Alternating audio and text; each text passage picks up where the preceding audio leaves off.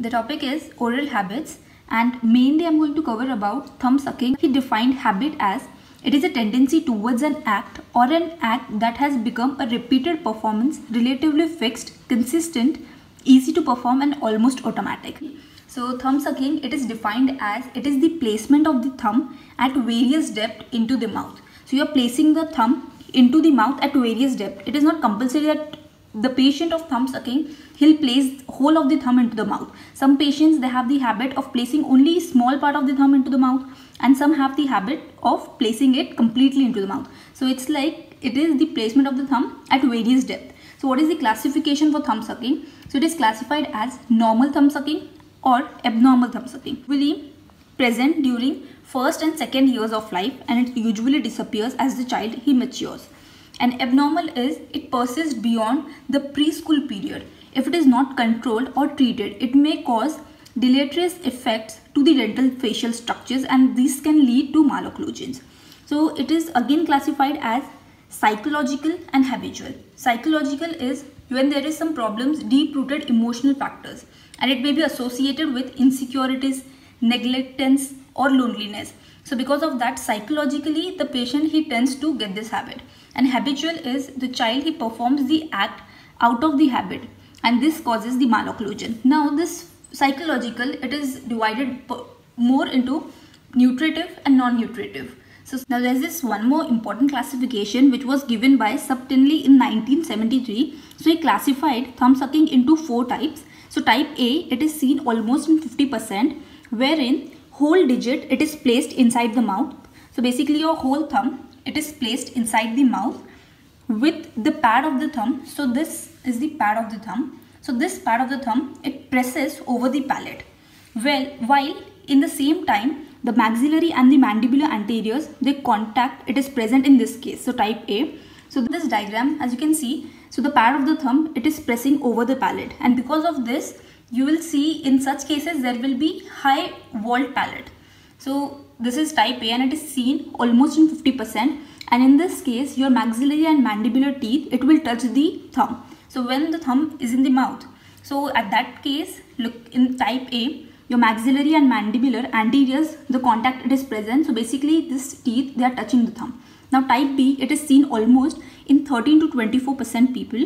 So thumb it is placed into the oral cavity but in this, there is no touching of the thumb to the vault of the palate, while at the same time maxillary and the mandibular anterior contact is maintained. So type A is where the pad of the thumb is pressing the palate and type B, there is no touching of this to the palate. Then type C, it is seen almost in 18%. The thumb, it is placed into the mouth just beyond the first joint. So over here, this is the first joint. So your thumb, it is placed just beyond the first joint.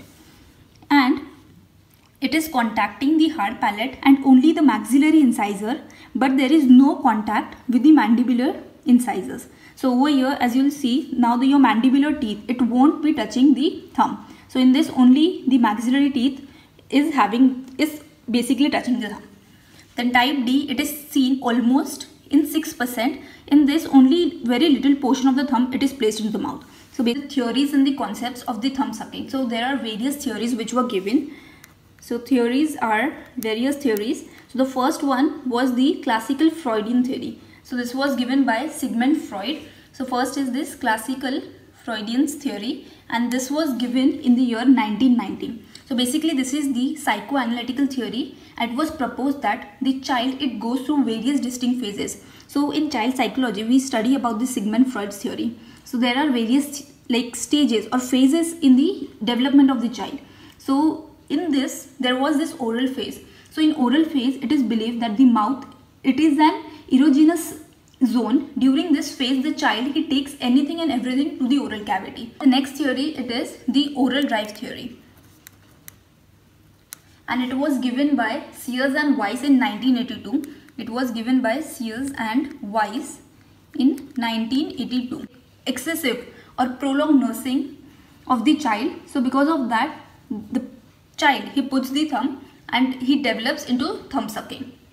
Then the next is rooting reflex. And this was given by Benjamin in 1962. So it was given in 1962 by Benjamin. So in this theory it states it is the movement of the infant's head and tongue towards an object touching the cheeks. So basically now the child he has this tendency when his cheeks he touches some part so basically his head and tongue it also touches that part. So it moves towards that part.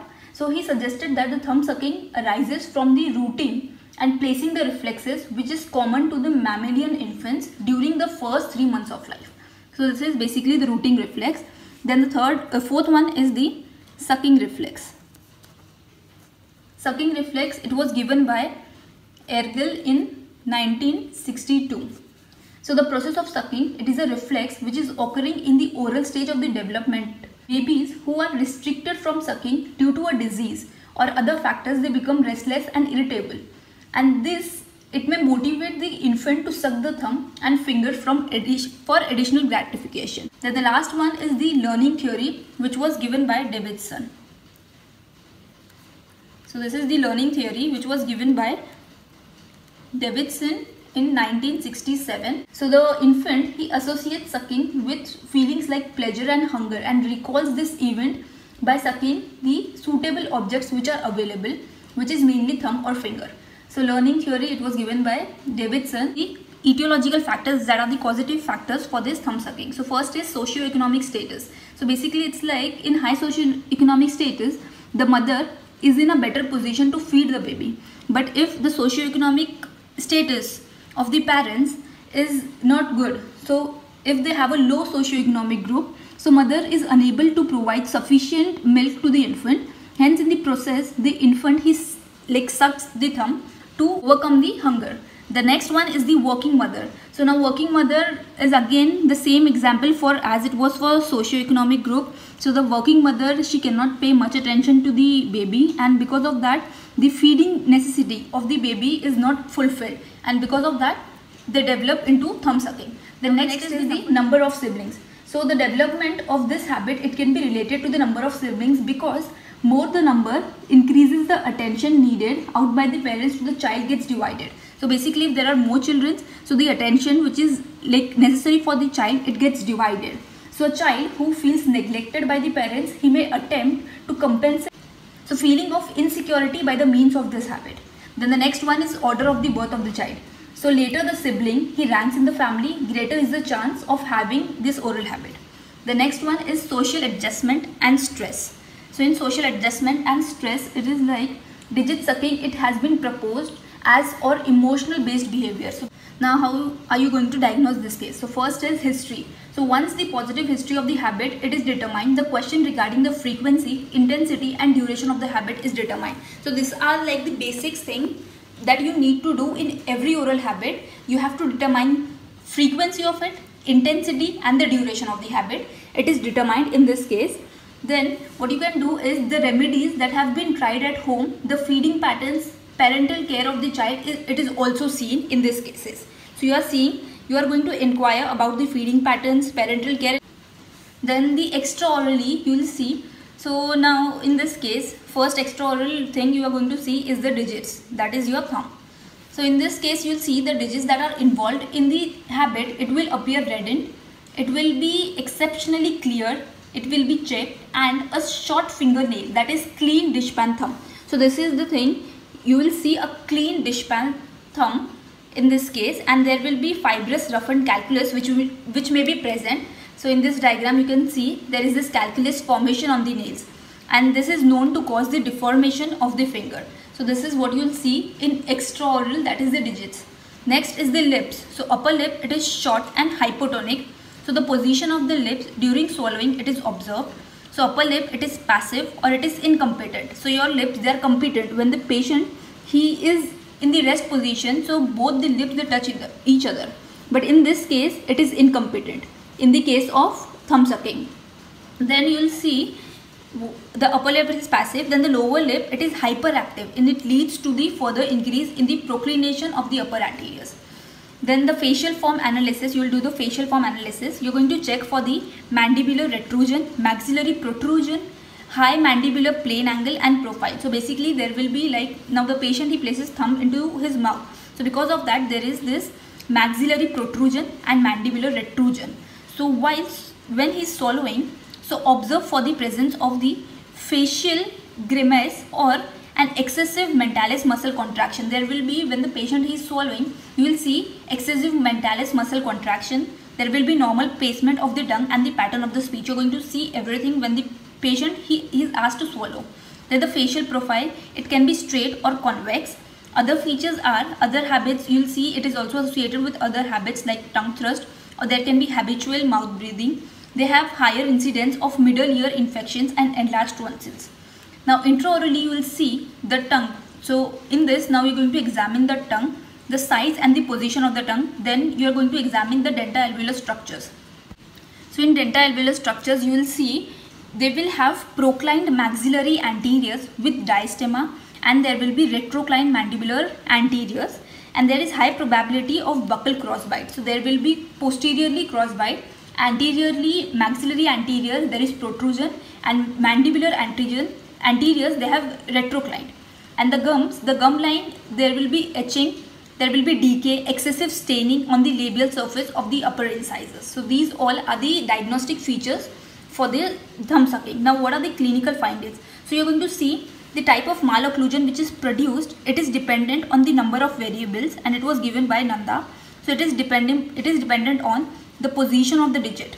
How and how much the digit it is positioned into the mouth then associated oral, orofacial muscle contraction, then the mandibular position during sucking, the facial structural pattern, intensity, frequency and duration of the force. So now what are the effects on maxilla? You will see proclination of the maxillary incisors, there will be increased maxillary arch length, there will be anterior placement of the apical base, increased clinical crown length of the maxillary incisors.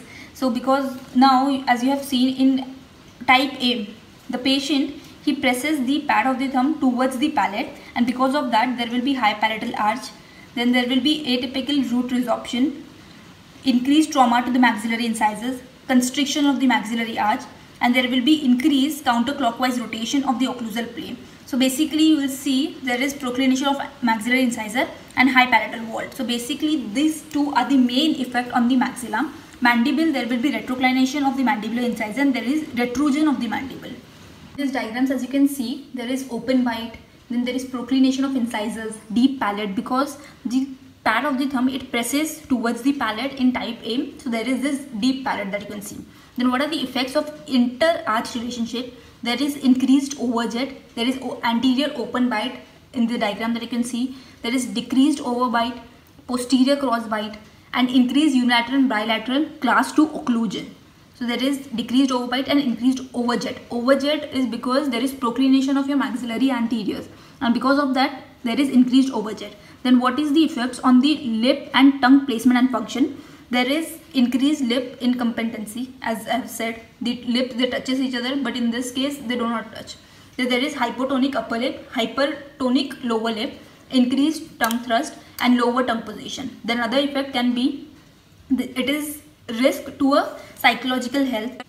So there is increased deformation of digits as we have seen already in diagnosis the digits they appear exceptionally clean and then there is increased risk of speech defect especially there is lisping. Moving on towards the management part that is the most important part.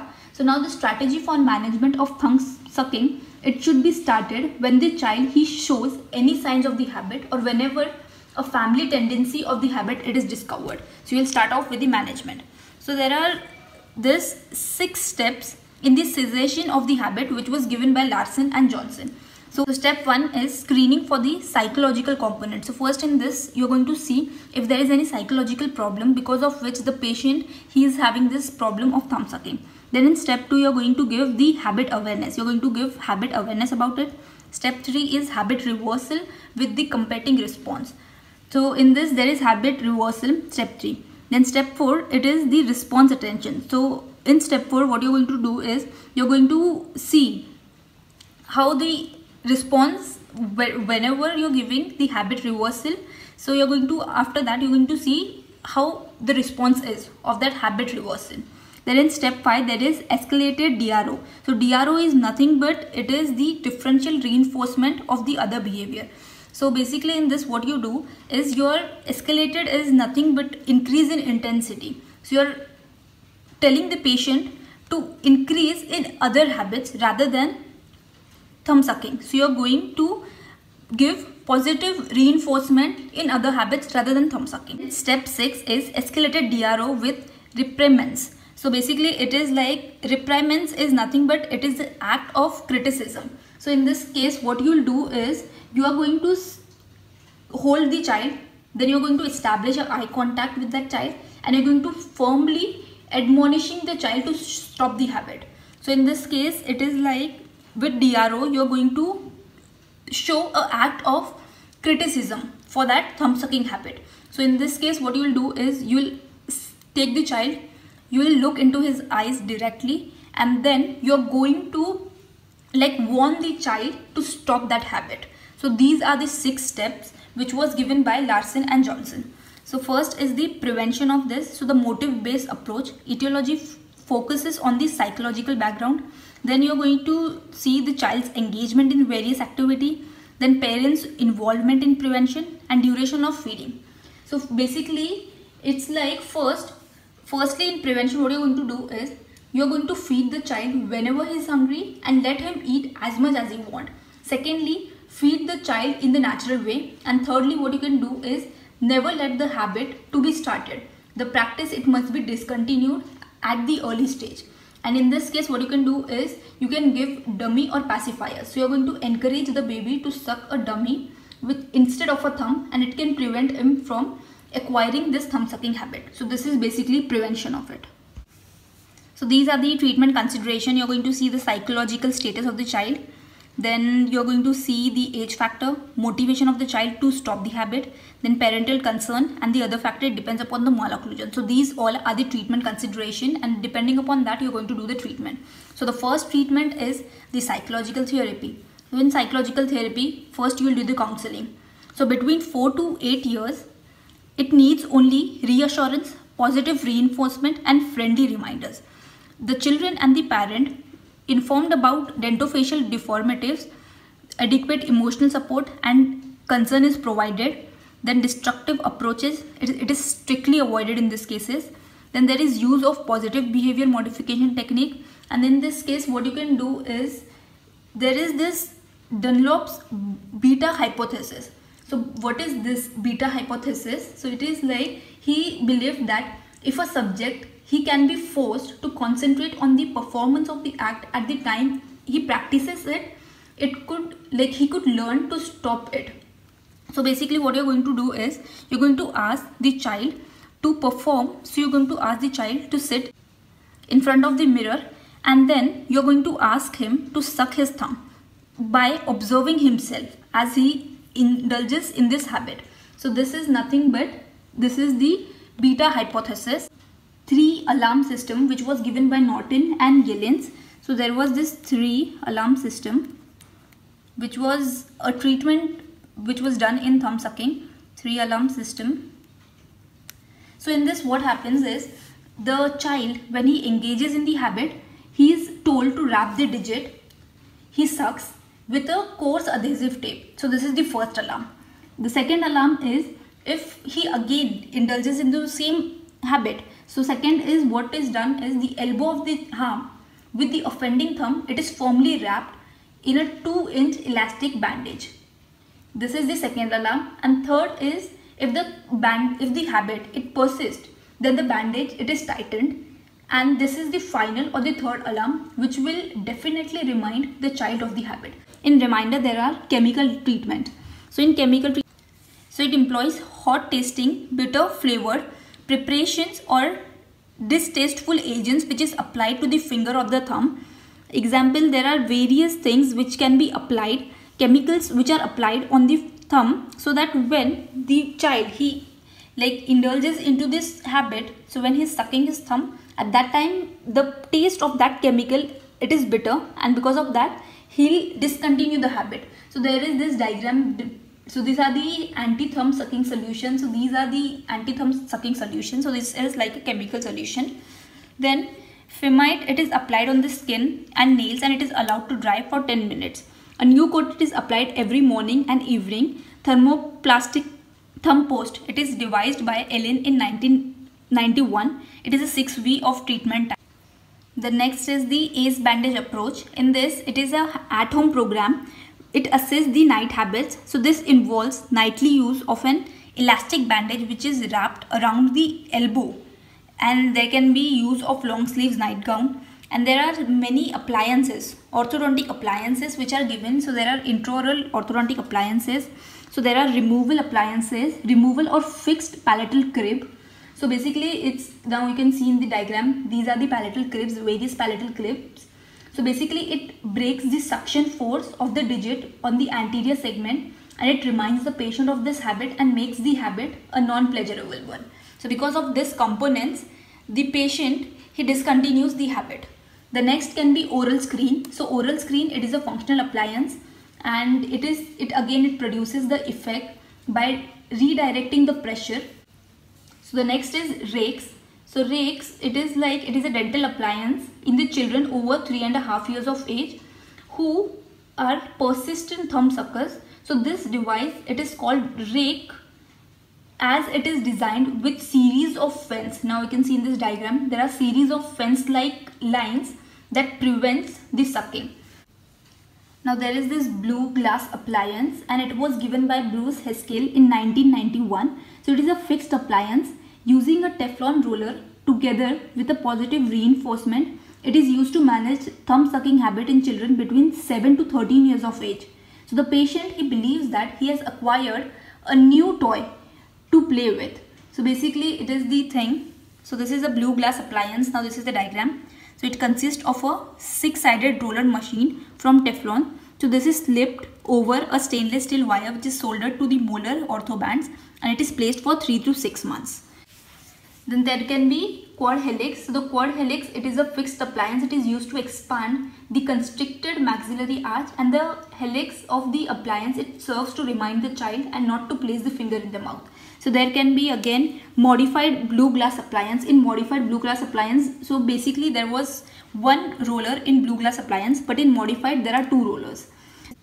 So there are these current strategies which are given. So first can be a thumb home concept. So this is the thumb home concept. Now in this diagram now you can see thumb home concept is basically it is a recent concept. In this a small bag is given to the child to tie around his wrist. So in this now the child child he's asked to like wrap a small bag around his wrist during sleep and it is explained to the child that just as the child he sleeps in the home the thumb will also sleep in the house and so that the child it is he is restrained from the thumb sucking habit. Then there are this hand puppets. Now these are the so these are the different pictures of hand puppets. And this can be made at home with the help of socks. Then there was this thumb sucking book the little bear who sucked his thumb. It is a book which is directed at children for children. So this book it was written by dr dragan antolos. So it he was an experienced dentist and he was having a special interest in thumb sucking habits in children. So basically there was a bear who was named as Oliver and he was having this thumb sucking habit. So basically it was like initially he he finds it comforting and fun but soon he decides it is a time to stop his thumb sucking habit and there can be my special shirt. This is all about thumb sucking.